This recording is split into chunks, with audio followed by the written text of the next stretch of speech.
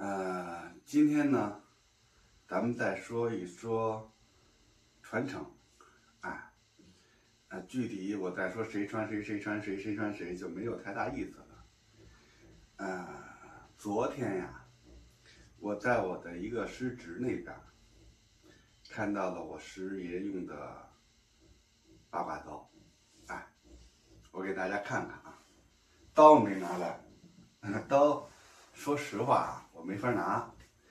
第一个呢，咱又没车，是吧？啊，坐地铁坐不了。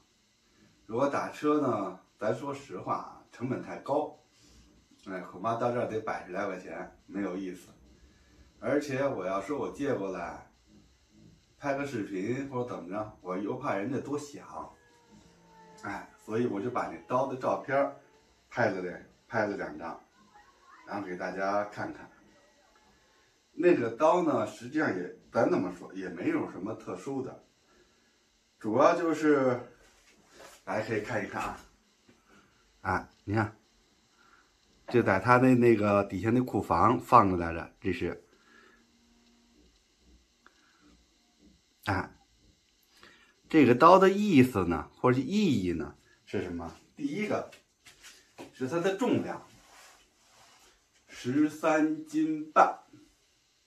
哎，单刀十三斤半，可见当年老前辈履历过人。啊，十三斤半的大刀，高是一米四啊，高是一米四。而且呢，这个刀啊，见证了一段友谊。为什么这么说呢？这段刀是我的。怎么说呢？我也得叫师爷啊，是八卦掌第四代名家谢佩启先生打造，哎，并赠送给我师爷杨坤先生的。本来啊，这刀的本来的重量是九斤半，哎，后来呢，我师爷觉得这刀啊配重不好，大家明白什么叫配重吗？